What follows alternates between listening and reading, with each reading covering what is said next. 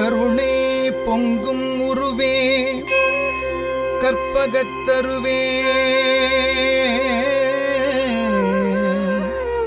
காஞ்சி நகர் உரையும் காமகோட்டி குருவே காமகோட்டி குருவே காமகோட்டி குருவே.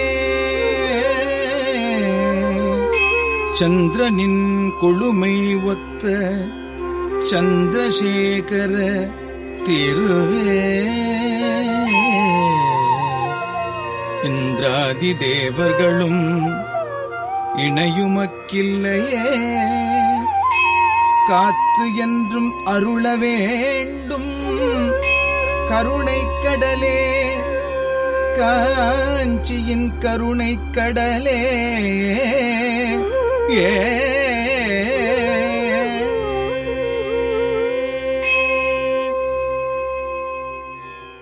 நேயர்களுக்கு அன்பு வணக்கம்.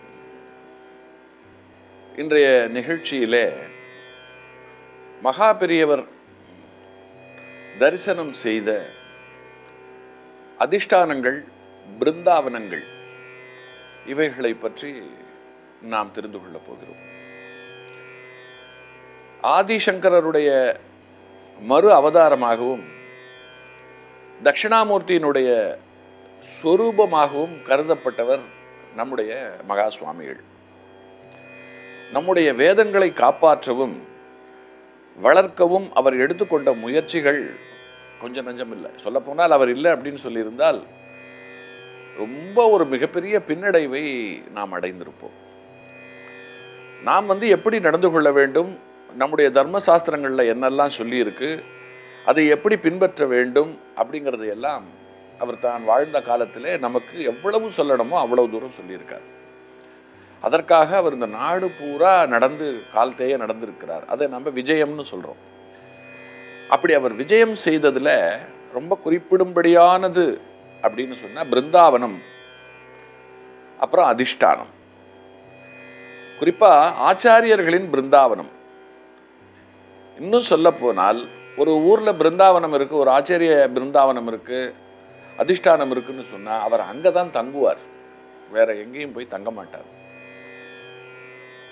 ரொம்ப வசதியாக பல இடங்கள் இருந்தாலும் கூட அவர் பிருந்தாவனமும் அதிஷ்டானங்களும் எங்கே இருக்கிறதோ அங்கே தான் போய் தங்குவார். ஏன்னா மகான்களின் பிருந்தாவனங்கள் அதிஷ்டானங்களில் எப்பொழுதுமே ஒரு ஒரு ஒரு வைப்ரேஷன் என்று சொல்லப்படுகிற அதிர்வலைகள் அங்கே நிரம்பி இருக்கும். அது வந்து அங்கே வந்து வணங்குகின்ற அடியார்களுக்கு அதனால பல நன்மைகள் ஏற்படும் க்ஷேமங்கள் உருவாகும். இப்போ சென்னைக்கு பக்கத்தில் எடுத்துக்கொண்டால் திருவற்றியூரில் காஞ்சி மடாதிபதியின் பிருந்தாவனமும் பட்டினத்தார் பாடகச்சேரி சுவாமிகள் இவர்களுடைய அதிஷ்டானங்கள் எல்லாம் திருவற்றியூரில் இருக்கு சென்னைக்கு பக்கத்தில். அதே மாதிரி திருவான்மையூரில் பாம்பன் சுவாமிகள் பறவை அம்மா அதிஷ்டானங்கள் அங்கே இருக்கு. ராகவேந்திர சுவாமிகளுடைய பிருந்தாவனம் வந்து மந்திராலயத்தில் இருக்கு. அது எவ்வளவு தூரத்திற்கு புகழ்பெற்று விளங்குகிறது அப்படிங்கிறதெல்லாமும் நமக்கு தெரியும். ஞானானந்த சுவாமிகளுடைய பிருந்தாவனம் திருக்கோயிலூரில் அமைஞ்சிருக்கு. சென்னையிலேயும் பாண்டிச்சேரியிலேயும் நிறைய மகான்கள் வந்து சித்தர்களுடைய அதிஷ்டானங்கள்லாம் நிறைய இருக்கு. நம்முடைய காஞ்சி பெரியவருடைய பிருந்தாவனம் இப்போ காஞ்சி மடத்துக்குள்ளேயே சங்கர் மடத்துக்குள்ளேயே இருக்கிறது. நாம் வந்து ஒரு நல்ல அதிர்வை உணர வேண்டும் அனுகிரகம் பெற வேண்டும் அப்படின்னு சொன்னால் காஞ்சி மடத்தில் இருக்கக்கூடிய பெரியவருடைய பிருந்தாவனத்திற்கு சென்று வணங்கி அதை வந்து ஒரு ஒன்பது சுற்று சுற்றி அந்த அதிர்வை பெற்றுக்கொண்டு நாம் வரும்பொழுது அதன் காரணமாக மனசுக்குள்ள ஒரு அமைதி தெளிவு தெளிவு இருந்தால் தான் நம்ம சரியான முடிவுகள் எடுப்போம். முடிவுகள் எந்த எப்படி முடிவெடுக்கிறோம் அப்படிங்கிறதை வைத்து தான் நம்முடைய வாழ்க்கையில் நமக்கு வெற்றி தோல்வி அப்படிங்கிறதெல்லாம் ஏற்படுறது. அதனால அறிவு தெளிவு குழப்பமில்லாத தன்மை இவைகளெல்லாம் நமக்கு வேணும்னு சொன்னால் தெளிவான முடிவெடுக்கணும். தெளிவான முடிவெடுப்பதற்கு அறிவு பிரகாசமாக இருக்கணும். அறிவு பிரகாசமாக இருக்கணும்னு சொன்னால் அறிந்து கொள்ளுகின்ற விஷயங்கள் இருக்கிறது அல்லவா? அதிலிருந்து அது வரணும். அதாவது நல்ல வாசிப்பு நல்ல யோசிப்பு நல்ல சுவாசிப்பு. இந்த மூன்றும் சேர்ந்தது தான் நல்ல முடிவெடுக்க காரணம். அதிஷ்டானங்கள்லையும் பிருந்தாவனங்கள்லையும் நாம் இருக்கும் பொழுது நல்ல சுவாசிப்பு நிகழ்கிறது. கூடவே மனசுக்குள்ள நல்ல யோசிப்பும் நிகழ்கிறது. சுவாசிப்பு யோசிப்பு. இந்த ரெண்டு வந்தாச்சுன்னு சொன்னாலே வாசிப்பும் வந்துடும் நல்ல நல்ல புத்தகங்களை எல்லாம் தேடி எடுத்து படிப்போம். பாகவதம் படிப்போம் ராமாயணம் படிப்போம் மகாபாரதம் படிப்போம் இலக்கியங்கள் படிப்போம். நல்ல பல அரிய அறிஞர்கள் சொன்ன கருத்துக்களை படிப்போம். பெரியவர்கள் எழுதி சொல்லிவிட்டு போயிருக்கிற தெய்வத்தின் குரலை எடுத்து படிப்போம். அப்போ மனசு பிரகாசமாயிடும் அறிவு தெளிவாயிடும். எந்த ஒரு முடிவையும் தெளிவாக எடுப்போம். எதிர் வீட்டுக்காரர்கிட்ட பேசுறதுலேருந்து பக்கத்து வீட்டுக்காரர்கிட்ட பழகிறதுலேருந்து ஒரு கடைக்கு போய் ஒரு காய்கறி வாங்கி கொண்டு வருவதிலே இருந்து அழுக்காகிவிட்ட நம்முடைய துணியை துவைப்பதிலே இருந்து மிகச்சிறிய சிறிய மிகப்பெரிய விஷயம் வரையில் நம்முடைய செயல்பாட்டுக்குள்ள ஒரு மிகப்பெரிய அர்த்தமும் ஒரு தெளிவும் இருக்கும். அது நமக்கு வந்து ஒரு களைப்பில்லாத ஒரு நல்ல தன்மையை கொடுத்து ஒரு சந்தோஷத்தை கொடுக்கும். ஒரு வார்த்தை வெல்லும் ஒரு வார்த்தை கொல்லும் அப்படின்னு சொல்லுவார்கள். நமக்கு தெளிவில்லாத நிலையில நாம் ஒருத்தர்கிட்ட பேசி கொண்டிருக்கும் பொழுது ஏதோ ஞாபகத்தில் நாம் வந்து அஹ், தவறான வார்த்தைகளையோ அல்லது தவறான கருத்து கொண்ட சொற்களையோ சொல்லிவிடும் பொழுது அவர் அதை வந்து என்ன இப்படி சொல்லிட்டீங்கன்னு கேட்டு நம்ம உடனே தெளிவாக்கிட்டா பரவாயில்ல. ரொம்ப பேர் என்னன்னாக்கா மனசுக்குள்ளே நினைத்து கொள்வார்கள் என்ன இப்படியெல்லாம் உளர்றார் இப்படியெல்லாம் பேசுகிறார் வெளியில் சொல்ல மாட்டார்கள். தங்களுக்குள் நினைத்து கொண்டு நாளை பின்ன பார்க்கும் பொழுது விலகி போவார்கள். நாலு பேர்கிட்ட போய் நம்ம தப்பு தப்பாக பேசுகிறோம் நமக்கு சிந்திக்க தெரியல என்று சொல்லுவார்கள். கடைசி நமக்கு தெரிய வந்தால் தானே நம்ம அதை திருத்திக்கிறதுக்கு. நம்மளுக்கு நம்ம நம்மளை சுற்றி நமக்கு தெரியாமலே நம்மை பற்றி நாலு பேர் தவறாக பேசி கொண்டிருப்பார்கள். இப்படி அஹ், பல விஷயங்கள் நம்ம வாழ்க்கையில் நடப்பது எல்லாமே தவிர்க்கப்படுவது அப்படிங்கிறது வந்து நல்ல சிந்தனை. நல்ல சிந்தனைக்கு தேவை நல்ல முடிவெடுப்பது. நல்ல முடிவெடுப்பதற்கு தேவை. நல்ல செயல்பாடு நல்ல செயல்பாடு அப்படிங்கிறதுல வருவது தான் இந்த அதிஷ்டானங்கள் பிருந்தாவனங்கள் இவைகளுக்கு நாம் போய் அங்கே வந்து நாம் வணங்குதல் அப்படிங்கிறது. இப்போ விழுப்புரத்திற்கு பக்கத்தில் சேந்தலூர் அப்படின்னு ஒரு ரயில் நிலையம் இருக்குது அதுக்கு பக்கத்தில் வடவாம்பலம் அப்படின்னு சொல்லிட்டு ஒரு சிற்றூர் இருக்குது காமகோடி மடத்தினுடைய ஐம்பத்தி எட்டாவது பீடாதிபதியாக இருந்த ஆத்ம புகதேந்திர சரஸ்வதி சுவாமிகள் அந்த ஊரில் தான் சித்தி அடைந்தார். அவருக்கு அங்கே தான் பிருந்தாவனம் இருந்தது. ஐம்பத்தெட்டாவது பீடாதிபதினு வரும்பொழுது இரநூறு இரநூத்தம்பது முந்நூறு வருஷம் தள்ளி போயிடுறது. பெரியவர் ஒரு சமயம் என்ன பண்ணுறாருன்னா அந்த பக்கமாக வரும்பொழுது அவருக்கு இந்த ஊரில் தானே நம்ம பராபர குரு இருந்து தங்கி அவருடைய பிருந்தாவனம் இருந்தது. அந்த பிருந்தாவனம் இப்போ எங்கே போச்சு? அப்படின்ற ஒரு கேள்வி வந்து பக்கத்திலேயே ஒரு ஆறு ஓடுகிறது. அந்த ஆற்றில் வெள்ளம் வந்து பல விஷயம் காலத்தினால வந்து பல இடங்கள் மூழ்கி போய்விட்டது.